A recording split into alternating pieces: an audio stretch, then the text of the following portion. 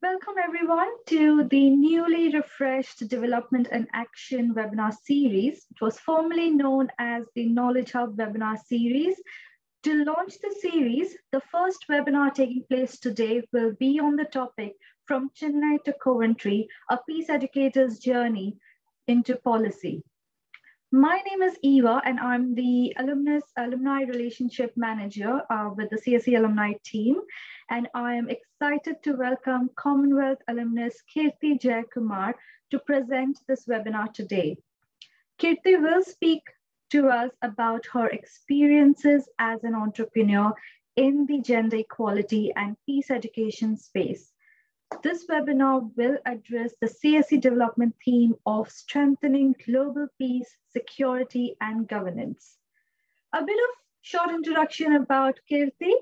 Kirthi is a feminist researcher working in the area of women, peace and security, transitional justice, and feminist for foreign policy. She founded the uh, Gender Security Project, which she will speak about more in her uh, presentation. Um, one of the other interesting points to note is that Kirthi has uh, taught herself to code and created a web and mobile application called Sahas. Um, this was developed to support survivors of gender-based uh, violence, which again, she will speak more briefly in her webinar presentation. Kirthi's areas of interest include gender studies, peace and conflict research, security studies, and international human rights and humanitarian law. I'm pleased to inform that Kirthi is a 2018 Commonwealth Scholar from India.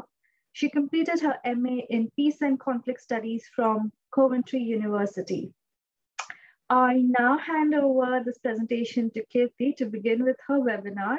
Uh, once again, if you do have any questions, please put them in the chat box and we will address them in the Q&A session after the presentation. Kirthi, over to you and a big welcome from the CSC uh, team um, to present your webinar. Thank you so much, Miss Eva. Good evening, good morning, good afternoon, depending on where you're joining us from. And thank you so much for setting time aside to listen to what I have to say and hopefully to also share your thoughts through questions and answers. As Miss Eva kindly introduced me, my name is Kirthi, and I was a Commonwealth Scholar for two years of my life when I studied at Coventry University, getting my master's degree in peace and conflict studies. Uh, in today's conversation, over the span of, an, of half an hour roughly, I would like to share a little bit about my experience, the work that I did before I went to Coventry, what changed for me because I went to Coventry and worked as a Commonwealth Scholar, sorry, studied as a Commonwealth Scholar while also working at the same time, and what life looks like right now.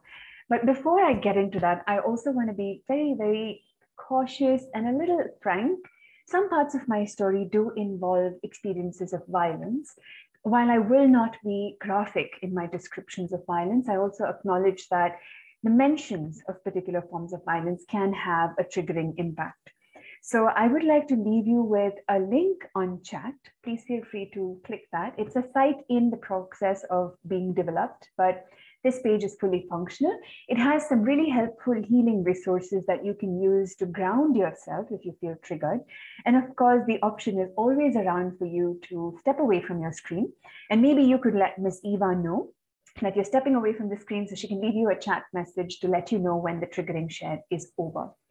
And I would also love to hear your questions. I know that some of you have sent in questions in advance. I'm going to try to answer as many of them through the course of my presentation.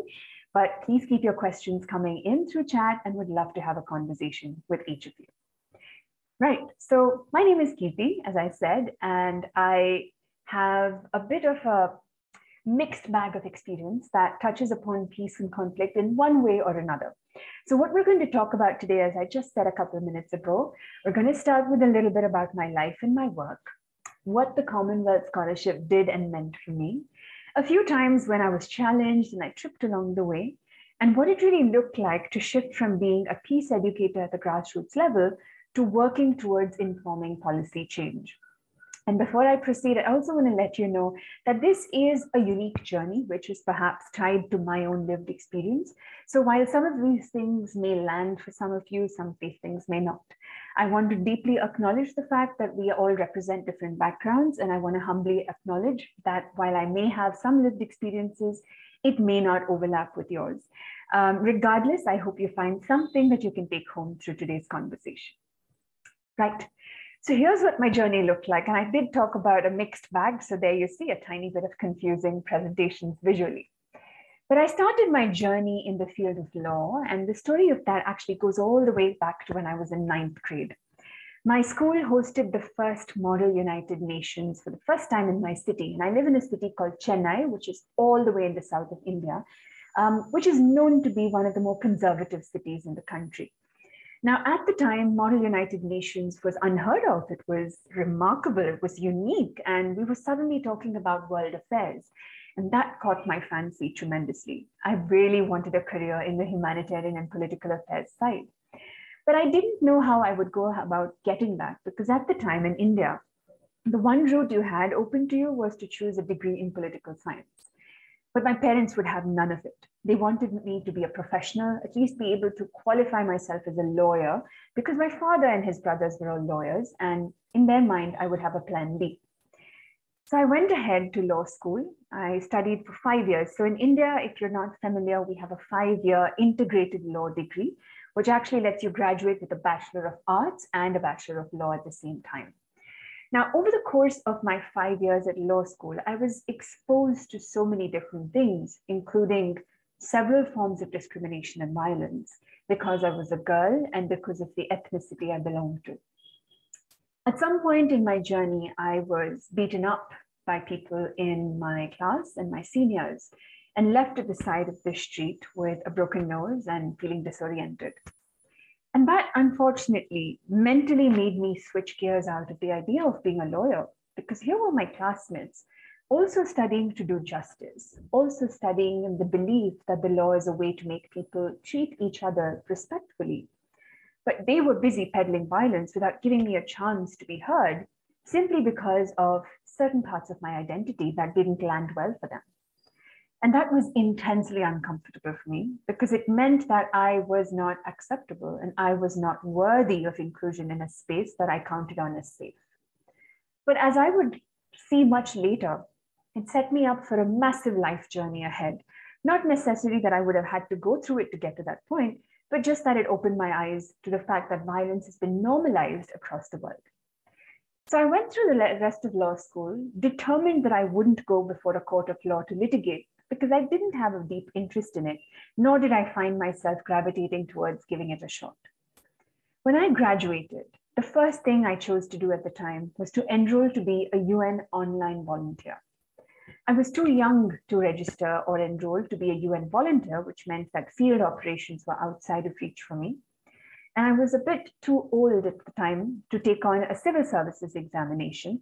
So I didn't have any other path open up before me to take on a humanitarian career. When I joined on as an online volunteer with the United Nations, I had the opportunity to work with several nonprofits, UN agencies, and subsidiary bodies of the United Nations. And the projects I worked on were so varied. I got to deal with water related issues, sanitation issues, healthcare, research on producing maternal briefs in terms of briefs for mothers, rather, on maternal health rights, on sexual and reproductive health rights. And I also got to do a lot of research specific to the laws of countries around the discrimination that women faced. Wherever I went, no matter where it was, which unit at the UN I worked with as a volunteer or which nonprofit I engaged with, one thing that kept standing out to me was the fact that women were constantly facing violence. In some countries, that violence took on a very ghastly form female genital mutilation, child marriage. And in some countries, the violence took on a more microaggression form, which didn't seem visible to the eye, not providing equal pay for equal work, preventing women from accessing opportunities and preventing women from leading their full lives. Wherever I went, whether it was in my own city, in my own country, or outside of it, these narratives continued to challenge me and sowed a seed inside my head. A world that is so deeply violent is also a world that is so deeply gender unequal. At this point, and I am going to share a bit of a triggering incident. Um, so again, like I would like to remind you, please feel free to dip into the resource if you feel a bit challenged. At this point, on the 16th of December 2012, there was a significant incident that happened in India, and it shattered the minds of so many people in my country. A young woman was brutally gang raped in the nation's capital. Now, this incident opened up the floodgates for what we now know as the third wave of feminist movement, where women across the countries and country and even beyond came together to really rally for women's rights. It was shocking. It was something nobody had read about in so much uh, candid portrayal. And it was something that really shook the conscience of the entire nation. But what also followed this incident was several women much like myself, coming out with their own stories, their own experiences, and their own challenges. It was around this time that I came out with my own story of facing 13 years of sexual abuse as a child, of facing bullying and racist violence and casteist violence, and oftentimes at the receiving end of violence because of my identity.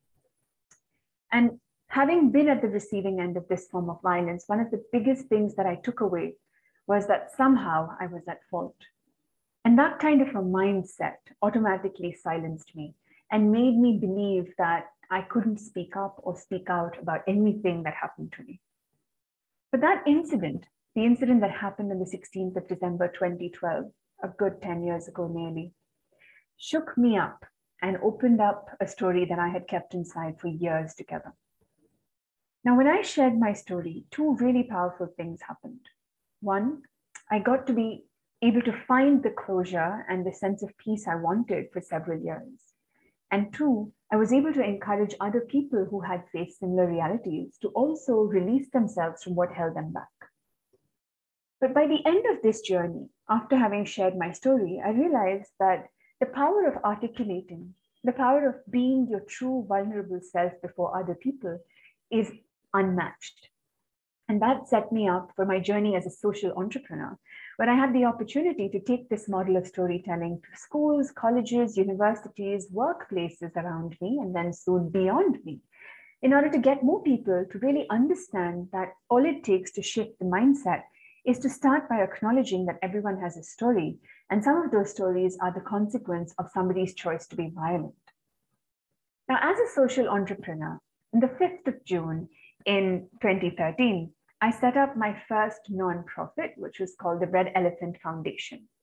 Now, the Red Elephant Foundation was dedicated to telling stories using peace education and driving home the deep message of gender equality. We called ourselves the Red Elephant simply because we wanted to paint the elephant in the room red and force people to sit up and take notice of issues they wouldn't otherwise talk about. And now, this journey that started in 2013 soon became a massive force with volunteers joining from all over the world. And at one point in the journey, and I'm still astounded by how this happened, I had 179 volunteers supporting to take this vision on the ground wherever they were in the world. Now, as a social entrepreneur, one of the biggest questions I'm asked is what are the challenges women face in being part of the business industry and being part of the world of um, entrepreneurship? And to me, I think this is also a challenge that continues to date, which is accessing the kind of resources that men automatically have because of the availability of networks and privileges. Now, in several countries, especially in my country, there is already a patriarchal notion prevailing where the assumption is that men are the dominant, men are the basic norm, and anybody that doesn't fit into that identity of cishet men is automatically part of the periphery. So to sit inside a boardroom where I'm the only woman in a room full of men in suits, to be taken seriously, to receive support in the form of funding or even opened up networks has often been the biggest challenge. When I ran the Red Elephant Foundation, I worked on a shoestring budget. And part of that shoestring budget really came from my funding sources of my own, money that I had earned and saved, simply because there weren't enough resources that I could access as a young woman in my country trying to make a change. The piece about social entrepreneurship is if yours is not typically a business model, it's not typically producing something that's economy worthy, it's a bit more tricky to actually get funding. Things are changing, which is a really great thing to speak about, but at the time, it was super tricky to get to that point. So when we worked with the Red Elephant Foundation at the time, we conducted workshops at schools, we conducted workshops for parents of children and teachers of children at their schools, and also at workplaces. And we strive to shift the mindset towards gender equality by normalizing the human in every individual and not allowing room for the division of human beings on any basis of discrimination. In this process, one of the tools that I created at the time, and I'm really, really excited about, is called the Saruki chatbot. Now, we called it Saruki simply because it was a portmanteau of the names of two of my best friends. So we'll leave that aside for now. But the chatbot really worked as a conversational piece for users on Facebook to engage and to indulge in some amount of peace education on a daily basis. And one of the things we created as part of this is the compassion footprint quiz, a short quiz of 11 questions with yes, no, or maybe answers that asked you about your actions for the day and asked you to reflect on where you were in terms of what you chose to do or didn't do and the consequences it produced. Now, both of these were a roaring success. Unfortunately, the code for the chatbot fell through, and so we're in the process of reconstructing and restoring parts of it, but the compassion footprint quiz remains online. If you'd like to check it out, I will make sure to add a link before we close out for it. So from the Red Elephant Foundation, my work as a peace educator also opened up a whole new avenue of trust building in a city that did not have too many resources at the time. So when parents would see me talking to their children about gender equality, when communities used to see me asking for people to dismantle belief systems that worked for inequality and against equality, I built a sense of trust in a lot of people who reached out to me when they faced violence. Sometimes asking for help, sometimes asking for advice. And my law degree came in super handy at this time because I was able to offer advice to them whenever they needed it. It was at this time when I realized a very pivotal incident actually catalyzed this, where a friend of mine was trying to reach me from a country abroad where she was living simply because she had faced domestic violence at the hands of her husband and was desperately trying to leave her house.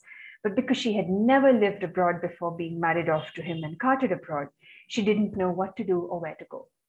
Now, this friend of mine had left me close to 16 missed calls and 31 texts on WhatsApp. And it really opened my eyes to the fact that somebody could be in distress, try to reach somebody they trust, and not find that resource when they most need it. And I realized that tech could be a powerful stand in for a person you trust simply because accessing them across time and space may be t- tricky, but a tech based tool is available at the push of a button. So at this point, I decided that I would create an app for survivors of gender based violence. Now, the journey originally began as an idea. I wanted to have somebody who would come in and code the app and help me work through creating it. But again, I did tell you about a shoestring budget that relied on my savings, so there wasn't much money. I couldn't pay people to code my app, and those that chose to do it voluntarily often had to choose between doing my project voluntarily and a paid project that would give them enough way to further their business. So when I couldn't get somebody to code it for me, I decided that I would have to do it myself. This was my vision, this was my dream. I was going to do it. But if you've been paying attention, you also know that I'm a lawyer. I have no information or understanding of computer technology or coding or any of it.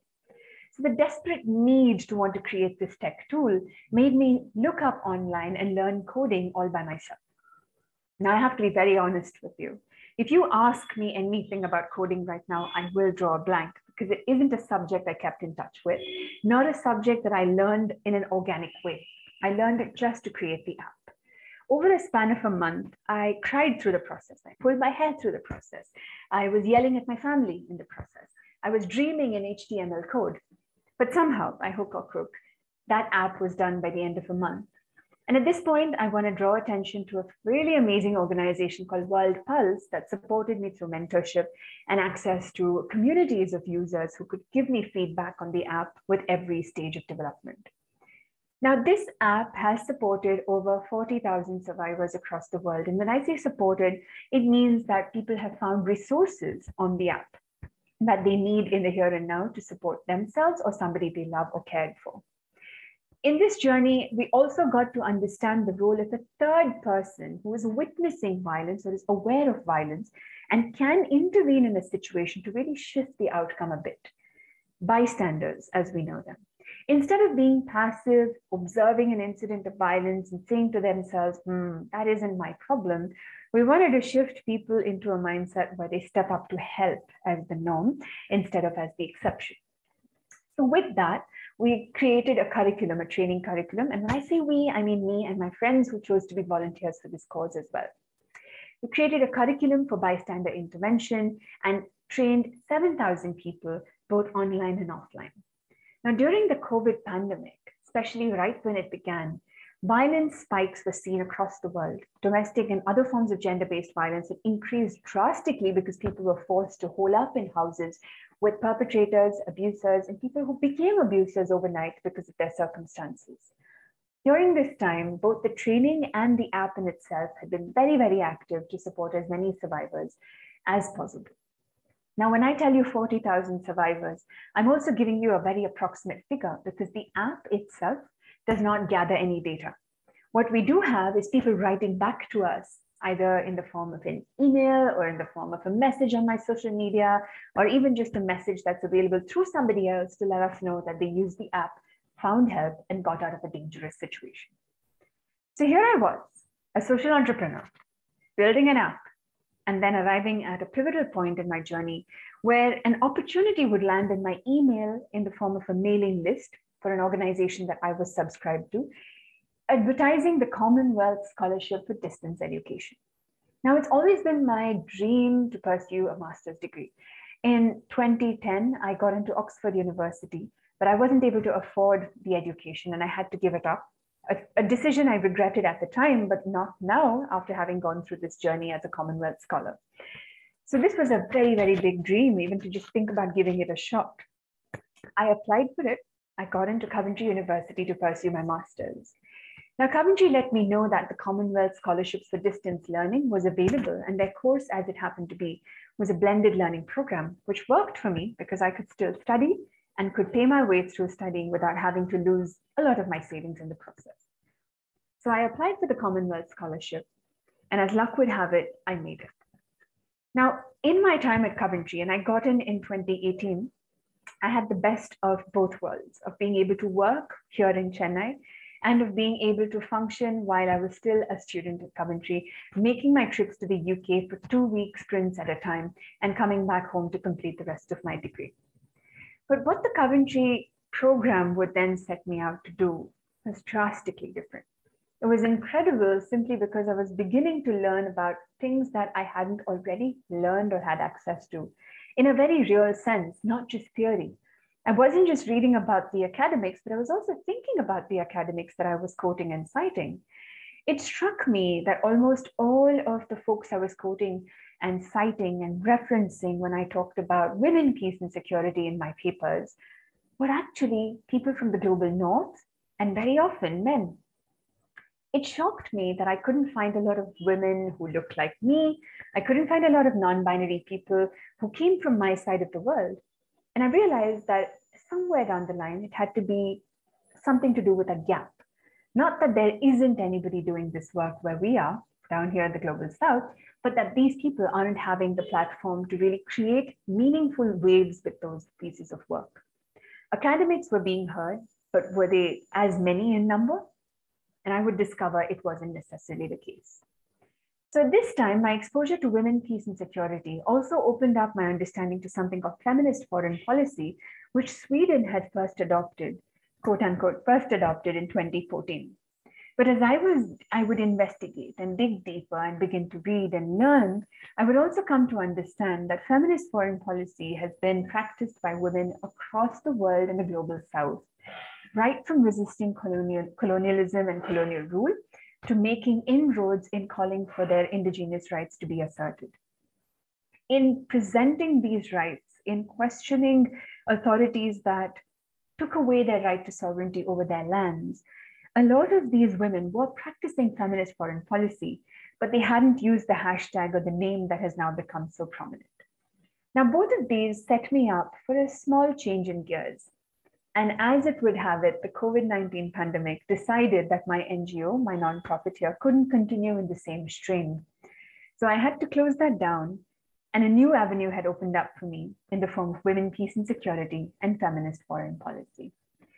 So when I switched gears, it coincided with so much that was happening in the world. There was a pandemic. There was no way to run business as we knew it. There were so many things challenging us in our everyday life, from our health to the way we handled our savings to the way we even thought about life in the future as it would be. And it was in this time that my pandemic baby, as I call it, the Gender Security Project, was born. Now, through the Gender Security Project, I wanted to learn different ways to action what the grassroots had taught me. Working at the grassroots had also taught me that while we can have a law at the top level, while we can have a treaty at the top level, while we can have countries deliberating in the Security Council the, of the UN, for example, what is really translating to ground and what is preventing that translation from happening effectively on ground? So at this point, I want to also establish uh, two really interesting things that also tie into questions that came up. One question that came up was how I dealt with the glass ceiling. And another question came up with rallying support. And I want to answer both these before I proceed.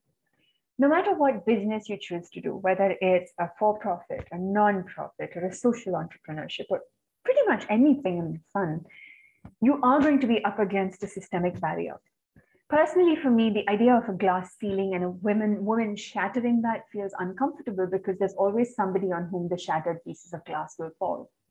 I prefer a more intersectional approach, which is to acknowledge the fact that women do leadership in women's ways, in feminist ways that are not limited to patriarchy's idea of women or feminism. It's about inclusiveness. It's about intersectionality. It's about acknowledging the fact that women or non binary people do not have to become purveyors of the patriarchy to be leaders. It's about acknowledging that opportunities are for the taking and that anybody gatekeeping those opportunities must be questioned. So at this point, rallying support became a significant route for me, simply because reaching out to like-minded individuals opens up avenues that nobody can estimate enough of. When you find a like-minded ally who's, willing, who's willing to open doors for you, who's willing to hold space for you, and who's willing to pass the mic and shine the spotlight on you, you make an effort to pass that on. And in passing on, you build a whole community that is willing to see the vision of change that you have in your mind and also bring it alive through the collective energy and wisdom that they individually bring to the table. Rallying support for me looks like making tables longer and fences shorter, and perhaps even destroying the fences altogether, so that every individual that is affected by what may be a policy, a law, a treaty, or even a decision at the international level will have a say in determining that outcome. So creating the gender security project at this point, some people called it foolish. Some people said it was the silliest thing one would do during a pandemic where everybody's trying to save money. And still more, where everybody's focusing on COVID 19 and issues like feminist foreign policy may not receive the traction it should. But I also firmly believe that there is no time too early, no time too late. There is good work that must be done. We start when we start. And we start where the shoe pinches. So if it hurts enough, we start right away. So with the Gender Security Project, we work specifically on the Women, Peace and Security agenda, feminist foreign policy, and the documentation of conflict-related sexual violence. We also take a deep dive into the larger ethos of including women in positions of peace, in positions of peacemaking, and in positions of mediation, both at the grassroots and at the international level, through dedicated training programs that will be rolled out very soon. We've piloted some of these programs with great success. Now, within the WPS agenda, within the ambit of feminist foreign policy, and within documenting conflict related sexual violence, one of the significant things we've understood is that women do not need to be taught to do peace. Non binary individuals do not need to be educated to do and be peace. A lot of their energies have been diverted to fighting the patriarchy, that their engagement in peace and non uh, violent movements have often been tokenized, have often been reduced to representation through a quota. And we wanted to shift the needle on that a bit. So the idea that we follow here is to amplify the voices of women across the global south, women who question systemic and structural violence to women who fight the yoke of conflict that is imposed on their countries, on their people, and on their bodies. So in order to do this, we curate thought pieces that are rooted in the majority world, primarily from women and non-binary persons, who call for a renewed understanding of what a world without war can look like. And this has led us down some very interesting places. Last year in March, as part of the Commission on the Status of Women, we got to participate and host two side events. Now, the NGO CSW, as it is known, the Commission on the Status of Women, is an annual event where non-profit organizations from all over the world come together to curate meaningful events that continue the dialogue in the women's movement. At these events, we talked about feminist foreign policy and drew attention to the need for more states in the world to adopt feminist foreign policies. I was also invited by the president of the UN General Assembly at the time, Volkan Bozkir, to deliver a specific address that would speak about preventing sexual violence in armed conflict contexts and offer perspectives on what may possibly be useful solutions. In this time, I also got to join the W7 or the Women's Seven, which is an ancillary process to the G7, in order to offer adversary support towards building peaceful policies for the future. We've also, as an organization, made inroads into two different spaces. One, feminist foreign policy through other means instead of just writing, where we produced a short documentary series. I'll make sure to drop a link for you in the chat before we close out, if you'd like to watch it. And this series curates voices of women from the global south, explaining what feminist foreign policy is by going beyond theory and situating lived experiences from the global south. We've also made inroads into feminist astropolitics, which is a very interesting line to look at space policy, space security, and space law, and include a feminist way of thinking on how we use space and share outer space with all of humankind. This is a relatively new area, so I don't have too many examples to share with you, but our idea is largely centered on looking at the word peaceful uses of outer space as a common heritage for humankind in feminist ways and in intersectionally inclusive ways. Now, the Gender Security Project continues to run on a shoestring budget, but we've gotten a bit wiser. We've come up with a business model this time. We want to offer trainings, we want to offer resources that we can put a price on for those that are able to afford it, so that those that cannot afford it are able to receive at least some of these deliverables for free. At one point, because of the pandemic, I went completely teamless. I was sick at one point and we had to close down operations temporarily as well. And these challenges as it will continue to happen in the future, have also been a shot in the arm to help us understand what organizations could look like, how we can reinvent the idea of an organization, how we can really look at ways of imagining a future where organizations can sustain themselves, even if those that are running it are out of the running for a while. Now, in this journey, yes, it does look very glossy. It does look quite interesting and looks like all the highlights and milestones are present, but there were challenges as well it's hard to be able to work and study at the same time. While I was studying, I did have deadlines to turn in my term papers. I had a dissertation to finish, while I was also helping my family out when it was a financial crunch during the pandemic. It's interesting to do your degree through the pandemic as well. It's not been an easy experience. It came with its own challenges because you had to do research relying exclusively on the internet or on the library system that's digital from your university, which means you have fewer resources as, as well regardless. The one thing that the Commonwealth Scholarship and the university that I studied in Coventry gave to me was a sense of deep support. My fellow members who, who were part of my cohort continued to inform my way of looking at the world. The blended learning module helped me learn laterally because I was also learning from my colleagues and part of fellow classmates who came from different experiences in their own journeys, who presented different examples to view the same ways in which the laws were presented to us, or the policies were presented to us, or even theory was presented to us. More than anything else, the Commonwealth in itself has been an extremely empowering journey to take as a scholar, simply because of the tricky ways in which the world navigates the future and at this point, the wisdom that you get from your community, from whether that's the alumni you engage with or in fellowship participants that you engage with, you gain so much that helps shape you as a well-rounded human being. And these are memories that I will intensely always hold on to and always carry with me no matter where I go. So that's been 30 minutes of you listening to me. Um, I'm going to take a pause and see if we have any questions and would also like to see if anybody wants follow-up clarifications, the links before I leave the session, I will make sure to drop in chat.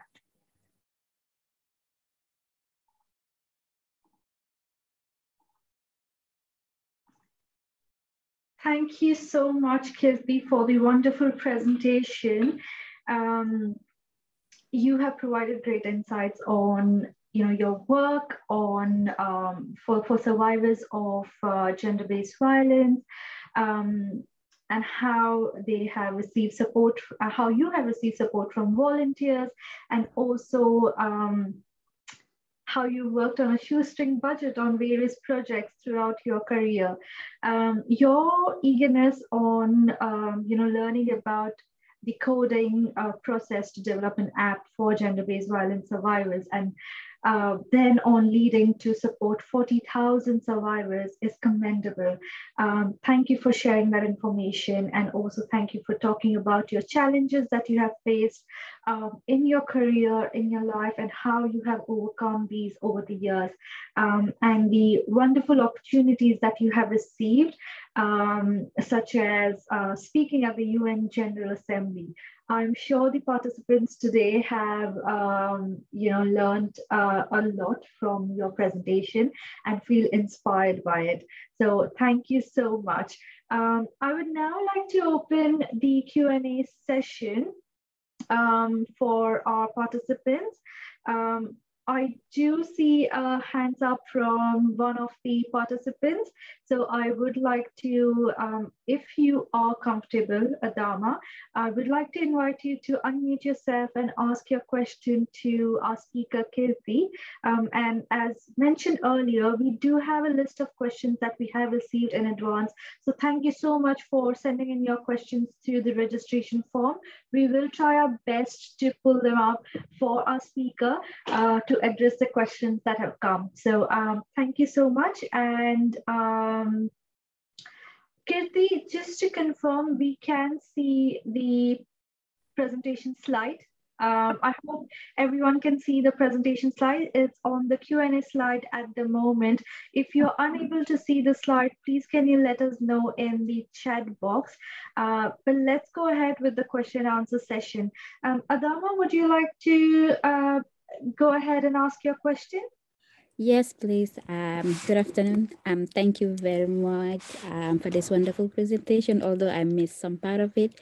Um, but I like to commend you for a um, really job well done. Um, so I'm a community um, um, community volunteer. I am not really active um, per se in the feminist world, but um, in my country where I come from, there has been a lot of um, incidences of gender-based violence, and we've I've come across very active um, ad, um, advocates of them. So um, I'm not sure if such initiatives can be replicated back home, if if possible, because um, I enjoy voluntary works and um, it's a continuous process. Even when I get back home, um, despite doing my community health volunteer jobs, we might involve work with these organizations, women-led organizations that are really active with this whole agenda. So I want to know quick answers how to go about replicating these things back home in the Gambia. Thank you. Thank you so much for your question, Adama. And thank you so much for also sharing a bit about the context because it really helps me understand exactly what might be appropriate. Now, if you're looking at replicating a solution, I would start with one of three routes. One is either studying the solution by seeing whether it relates to the community that I am from, because sometimes a solution that works beautifully in the United States or the UK may, may be completely out of sorts, say in India. So you want to start by acknowledging that we're coming from different places. So you want to see if what looks like a solution there can speak to the problem we want to answer. So that's one possible option. The other piece is to have a conversation with the people who are running the solution wherever in the world that you feel is useful for your community and really sort of understand what the genesis of that was. Why was that organization or that actor or that agent under the impression that that solution could be an answer? And then to try to talk about the problem you want to solve in your community and then see if they have some advice on what pieces of their solution can work in your community. That's another starting point. And a third starting point, and this is my personal favorite, is to really listen to the people in your community. What are they saying? What do they want? What do they think they would use? For example, if you created an app, but your community is not interested in using apps or is not comfortable using um, an app, or maybe thinks that it takes too much time to open and access an app, then you probably want to figure out what that solution can look like locally. Uh, for example, when in, when I started out, I knew that the community I was going to reach out to was the community that was using smartphones, uh, because when I went about asking women in my mother's generation, more women said, "Oh, I don't want to use another app," than women who said, "Yes, I will use an app." So you want to understand exactly what your community wants, and then try to figure out whether what you have in mind can work for that. If not, have a think with them and then refine that solution so it really meets the problem midway. I hope that answered your question. Yes, thank you. Of course. Thank you so much, Adama, for asking your question. Um, please feel free to send in your questions for Kirthi in the chat box. Meanwhile, I will ask Kirthi the one of the um, a question that one of the attendees have asked through the registration form. So Kirthi, the question is, um, how did you manage to transform your research output into policy actions and practice to solve developmental challenges in your country, considering the selfish interest of policymakers in policy formulation and implementation in most development, developing democracy? Thank you so much for bumping that question up on my radar, Ms. Eva. I hoped to answer it in my presentation, but I self-censored because of the time. But what I want to share here is that this is an ongoing endeavor. I don't have an answer to tell you that this is my research output and this is the policy outcome in the here and now because policy change takes longer than a mindset change. And so the route to a policy change is really facilitating that mindset change. So some of the things that I have seen happen at the grassroots and without getting into too much detail because I don't have the consent of the individuals in question is the invocation of education for people occupying high positions in the judiciary um, occupying high positions and roles in the executive and the legislature, where a conversation with a government official opened up avenues for them to bring in people to train their communities on gender sensitivity. I'm sorry, gender sensitization and gender equality and intersectionality. And you see these things as happening in a bit of a, an accretion, not something that happens at one size fits all. And it's a very ongoing activity. But the one thing I will definitely say is that we do not have a firm grip of converting what looks like very theoretical research into very practical action. So I like to call myself a pracademic because I want to be able to bridge the two in one way or another to translate what somebody sitting in a room with books is able to see that somebody out in the field is perhaps not able to relate to just yet. And so try to marry those two worlds to really make action possible. As for selfish policymakers, well, you're always going to encounter that. And there will always be somebody in a position of power, whether it's a classroom, a workplace, or a country's government, who wants to hold on to that power, who wants to hold on to that position, and is not going to be willing to give it to you or even share it with you. But the piece I like about engaging with these individuals is to create a small doubt in their minds about holding that power. Don't try to convince anyone. The more you try to convince a person, the more defensive they become.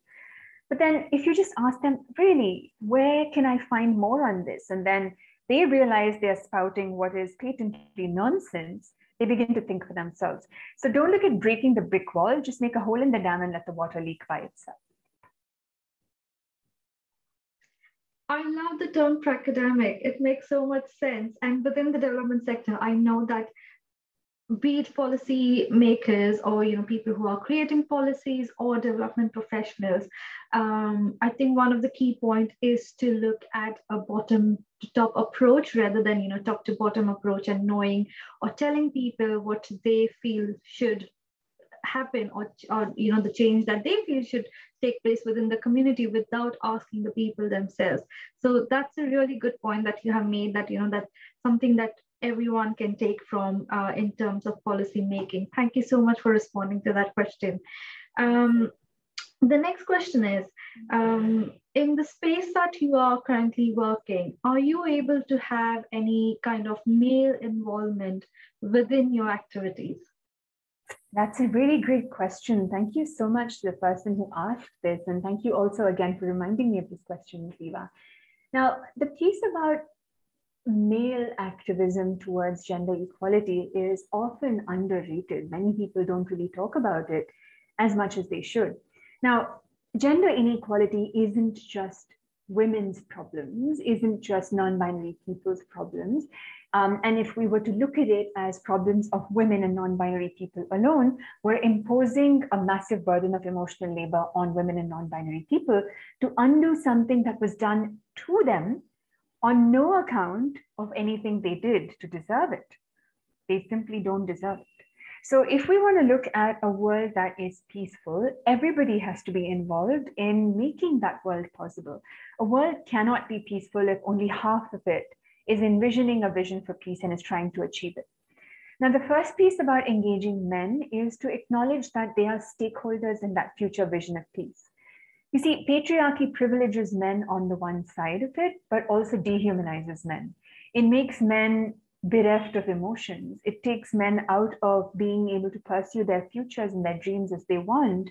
And it also prevents men from having full, rich lives because they have to align with the cookie cutter mold that the patriarchy has made for them. But if men can see that there's a future that's beyond patriarchy, there is beauty in sharing power, and there's beauty in bringing in voices that they have silenced for generations, then that's huge. That's a massive shift, and the needle automatically converts to being one of building that peace as a norm rather than relying on violence. So I definitely believe men must be part of this one way or another. Amazing answer, amazing response to the question. Thank you so much. Um, I do see a hand up um, amongst one of our participants, but I would like to remind uh, attendees that we still have a couple of minutes uh, before we end the webinar. Please feel free to send in your questions in the chat box or just raise your hand if you're comfortable to you know, unmute yourself and ask your question. So the next question is by Jero. I hope I'm pronouncing your name correctly. Jero, would you uh, wish to unmute yourself to ask your question? Yeah, okay, thank you very much um, for allowing me to, to, to ask this question. First of all, I'm going uh, I, I, wish to thank uh, the presenter. Sometimes I find it difficult to pronounce the, the names correctly. And then I, I want to say it is a wonderful presentation. It is definitely an inspiring uh, presentation. I just want to make a, a comment about the difficulties she, she went through and despite those challenges, she is able to come up with something that is beneficial not only for people in, in India, but uh, for people all over the world. I think that is quite amazing and then it's quite uh, inspiring.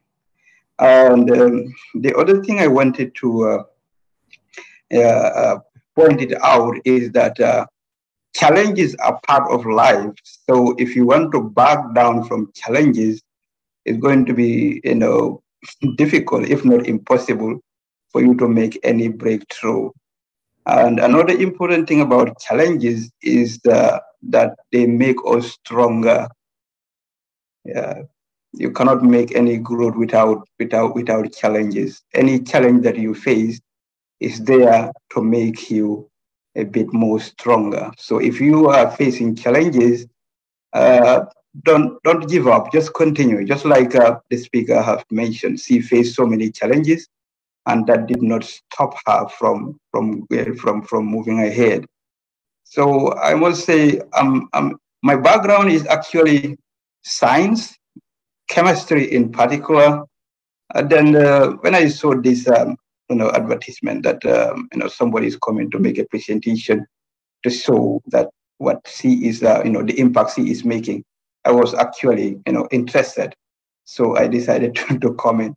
So I want to say a wonderful thank you. And definitely it's an inspiration for me. You know, I'm actually a PhD student at the moment at, uh, at the University of West of England uh, in the UK.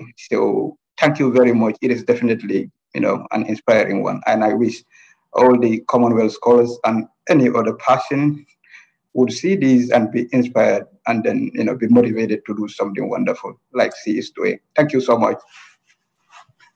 Thank you so much for the kindness, Jero. I hope I pronounced your name right. Uh, it means everything to me to just hear these really reinforcing words, and I will definitely hold on to it. Thank you.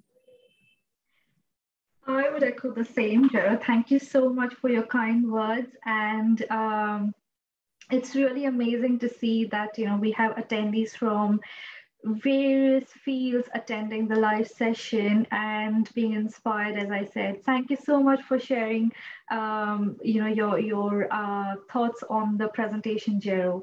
Um, we do have a question from uh, one of our attendees in the chat box. I'm not sure if um, dorothy d. Gabriela uh, would like to unmute. Okay, okay, no, it's fine. I will ask the, your questions for uh, for you to Kirthi. So Dorothy has uh, mentioned, first of all, thank you so much for your response on men's participation. Um, but she'd also like to ask, what are the challenges you face in mainstreaming gender issues, bearing in mind the polarization of men and the dragging feet approach of policymakers. What are your thoughts on this, Kirthi? Thank you so much for your question. And also thank you for touching upon an area that I may never stop speaking about. So if I'm going over time, Miss Eva, you know what to do. but um, one of the biggest challenges that I have faced is resistance really to engaging with me.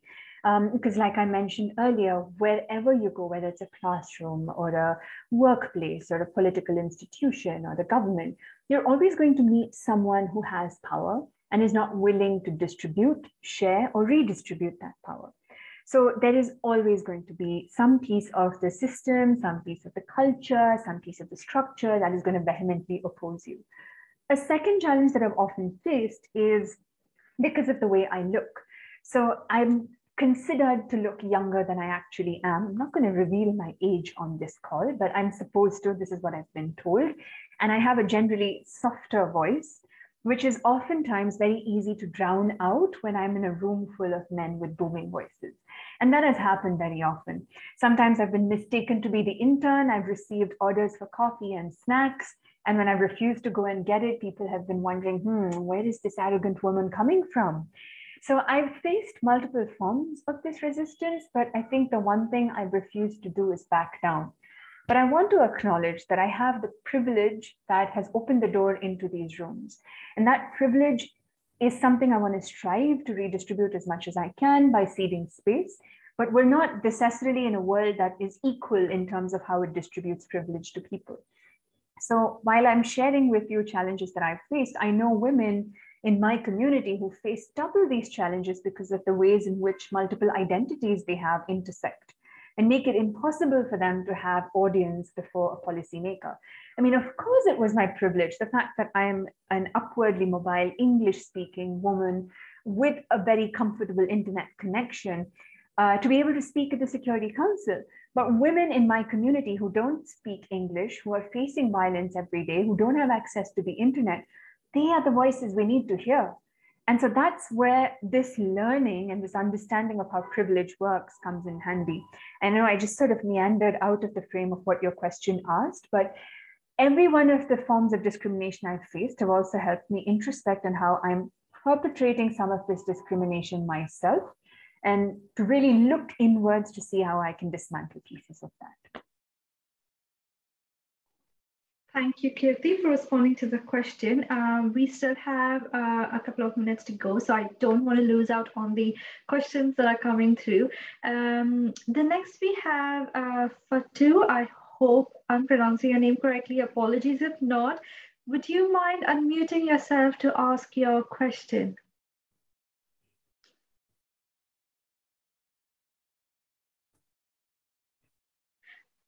Hi, Fatou, can you hear me? Do you want to unmute yourself to ask your question? Yes, uh, good afternoon. Good can afternoon. You hear me? Can you hear me? Yes, we can hear you. Um, thank you very much, uh, presenter and organizers, for this uh, very interesting uh, piece of work. I really appreciate and salute uh, you um, and having gone through all these challenges and uh, you have actually succeeded. Congratulations. Having said that, I I saw the in the in the issues that you have been uh, dealing with, uh, the issue of uh, storytelling. Uh, I know storytelling is one of those very effective uh, communication um, between especially adult and other peers. And I, I am I'm interested in knowing how you were able to um, install those storytellings and what kind of stories we are being told and how are you doing it actually? Uh, is it documented or do you have uh, actually uh, the storytelling in a booklet form for others to learn or do you have a, a link where we can find these stories so that we can also use it in our in our day-to-day -day work? Thank you so much. Well done. Thank you so much for your comments and for your very generous uh, appreciation, which I really hold dear. Um, now, I want to say when I speak about storytelling, it is very oral history oriented, where people open up and talk about their stories and not necessarily write it down. And one of the policies that we followed was that nobody's stories would leave the room in which they were shared. Now, the reason we did this was because some of the stories were so intensely personal, so intensely challenging to put an identity to outside the frame of a confidential environment. So that's broadly why you may not see written pieces of the stories itself outside. But I'll give you my formula and how beautifully it can work for you really comes down to how you creatively change and work with it. So the first step is really an icebreaker. You get into the room, you do this really nice icebreaker activity, get people out of their inhibitions and have them really think about how they can trust you as well. So which means you also participate in the icebreaker. Now, this can be anything from sitting down and saying two truths and a lie, which is a fun game where you get everybody to tell two truths and a lie about themselves, and the others have to guess which the lie is. Now, it's a really nice way to get to know very random facts about the people you're engaging with. So that's one thing I would do. And then the next is I would invite people to to come in and share their stories by setting a few rules about how this is a safe, confidential, and non judgmental space, and also offering resources for people to think through their triggers, which you might remember we started this session with. Now, when you do that, people begin to open up and share a story or two of their own, and that leads to a conversation. Now, sometimes some rooms are not necessarily open or willing to share their own stories, so I begin. I start by telling my story, but I don't get too much of the story out there because I don't want it to be about me. I would love for the session to be about people around themselves. Um, Ms. Eva, may I have your permission to take one more minute to share an example of how this worked? Of course, please go ahead. Yes. Thank you, Thank you so much. So in a classroom, I was invited to, and this is one of my first workshops, the teacher told me that the children had a huge bullying problem. And there was this young man and a young woman in the class. The young man was constantly targeting the young woman throwing her things out the window, shaking her up when she sat down on her chair, and so much more. So we realized that the problem there was not going away when the boy was being made to speak to the teachers about what was going on and he wasn't opening up. So I went there, I played four or five icebreaker games because you know how it is with children. They love games and then they settle down when they're tired. So we got that out the way. And then I invited them to share stories. By the time we finished the fifth icebreaker, the young girl had found that she could trust me. Uh, she built her own trust with me because the activities were so willing to involve everyone in it, and they saw me participate like one of them. So this young woman steps up before the class and she says to everyone, Look, I am so tired of being bullied because I'm so scared I might lose my things. He may beat me. I might feel pain. And then she began to cry and she said that in her own house, she was constantly dealing with violence like this because her father was beating her mother every day. And this little child would often insert herself between them so that her mother would not get the beatings. Now, this child had become so quiet and so silent because of all the violence she was facing at home. Now, the moment the boy heard this, he got up with a sudden force and pushed his chair back marches up to the girl, and we were all pretty scared about what he was going to do. So I'm trying to stop the boy when he suddenly breaks down himself. And he says, I'm going through the exact same thing. My father beats my mother every day. And I'm pushing myself in between them so my mom doesn't get beaten. And now you see how the same reality is so shared, but it's produced two different outcomes. It's made a girl believe that violence is something she will deserve, and it's made a boy believe that violence is a way for him to have control over his life. But that moment, it was so beautiful. I did nothing. I did nothing. I just held space. But these two children came together in a way that I can't explain having seen anywhere else in the world. And today, the two of them continue to run these storytelling sessions on their own. So you see, the power of it is really just the people you work with and the love you sow the space with. Honestly, I mean, it's a very Harry Potter way of saying it, but at the end of the day, the answer is love. Thank you so much for sharing the response. And I do know we are running a little over time, but that's fine. Um, we do have a question based on you know what you've just responded, and I appreciate if you have covered uh, your response in in you know uh, if you've covered this point in your response, that's completely fine. But the question is, what are the ethical dilemmas that you faced in the storytelling exercise?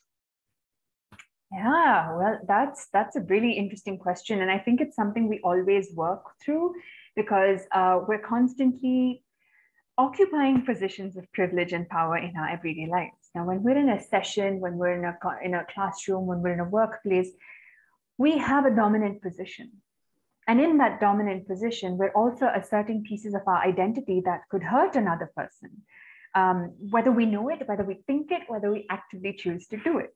So that's a huge ethical dilemma. And I'm always questioning my positionality. In fact, even, and I don't know, Miss Eva, if you remember this, in our first conversation, w- the first thing I was thinking of, I don't know if I'm the right person to do this.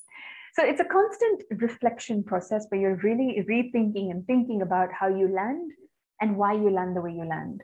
Another ethical dilemma I've often faced is really just about how you you have to stay silent when somebody who is dealing with such a difficult time does not want help. Um, you can never force a person to get help. It is so difficult, but it breaks your heart to walk away from a situation where somebody is evidently facing brutal violence, but is just not able to get out of that situation. That's amazing. Thank you for sharing that response. And while we do have um, we do have a few attendees who have um, appreciated your webinar presentation and given words of uh, appreciation in the chat box. I do have one more question, which seems very interesting. If you do have the time, maybe we could uh, address this question. And for attendees who would like to um, leave the session uh, due to time restraints, please. Um, thank you so much for attending. But if you'd like to wait for a couple of more minutes while Kirthi responses to this question, um, it would be lovely for, uh, for us to have you uh, for a couple of more minutes here. Uh, so Kirthi, if you are okay with, uh, in terms of time, I would like to uh, raise this question. Um, the question is from Albert who is saying, first of all, thank you for an inspiring presentation. And it's just a question on communication. Do you work with the media? If yes, how do you work with them? And do you think uh, for us starting new projects may need to consider working with the traditional media? How best can we do that? Well, thank you so much for your question, Albert. Um, I must confess that I don't have a deep body of work or a wide body of work with the media, except for two workshops that I did on peace journalism. Now, this is a concept that has been put together by some of the most amazing minds in the field of peace education and really calls upon the broader theme of looking at ways to tell truths, tell stories without allowing for sensationalism and propaganda. Now, peace journalism was a very tricky place for me to navigate because I neither have a degree in journalism nor experience in journalism. Now, how was I going to lead a class in this? So I kept my work just to the peace education context and brought in a journalist who was able to bring that synergy with journalism. So that's the background I'm going to answer your question with. Now, engaging with the media, I think, is fundamental because what the media is today is simply something nobody could have conceived of even as early as five years ago. The media has become our single most significant point of reference for information and for the news. And you're sort of in danger if the media has a vested interest in positioning certain items to you at the cost of certain other pieces of information that you should know. And we know historically there have been several of the world's wars that have been waged because of an information warfare starting it off. So it's important to acknowledge that media positionality is a significant actor in a world that we envision for peace. Another point to also deeply think about is recreating the idea or the role of the media in itself. We know that the media is the fourth estate. It is important. It is a very significant foot soldier in the future of the nation. But why don't we start by questioning media houses for how they produce information and present information? For example, we've seen so much about the racist reportage around the COVID 19 coverage. We've seen racist reportage around the Ukraine war, um, around the conflict that erupted at the end of the troop withdrawal in Afghanistan last year.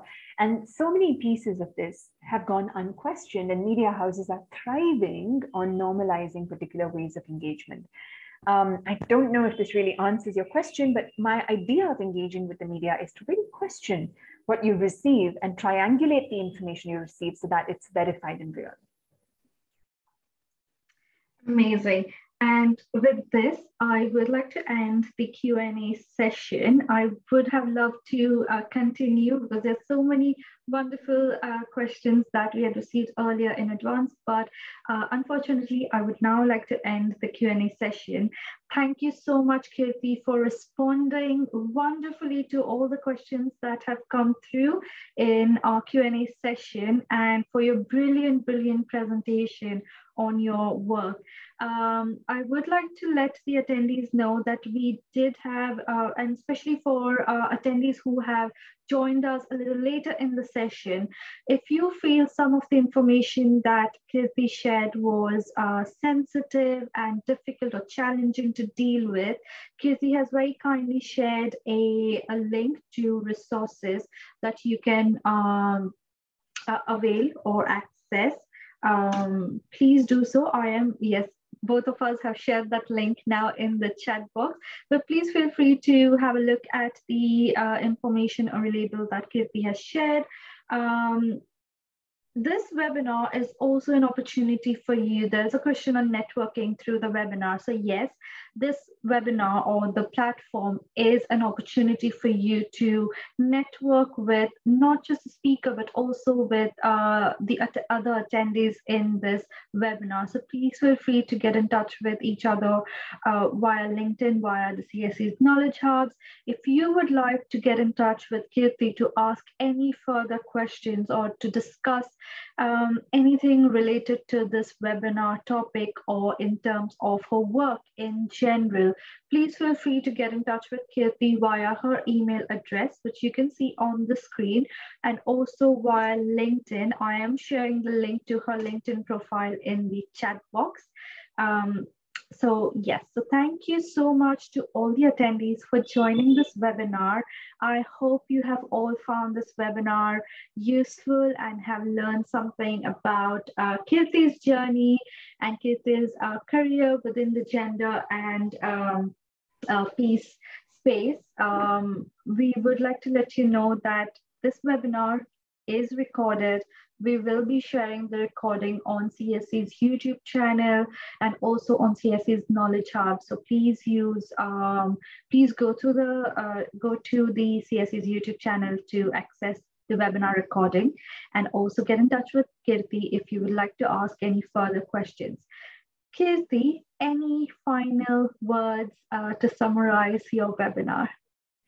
Well, just deep gratitude to each of you for giving me an hour and then some more of your lives and to give me the opportunity to get to know you.